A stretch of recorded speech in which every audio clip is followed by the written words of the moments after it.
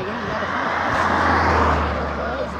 nada aqui. Eu atendo ocorrência de rendeiro todo dia. Eu até acredito que senhor, mas nesse caso eu não estou vendo de rendeiro.